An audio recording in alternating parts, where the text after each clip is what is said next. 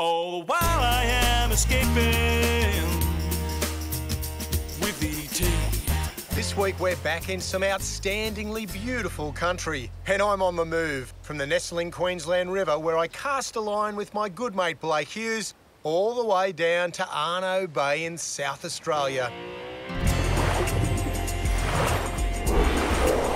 Majestic river barras put up a splendid battle.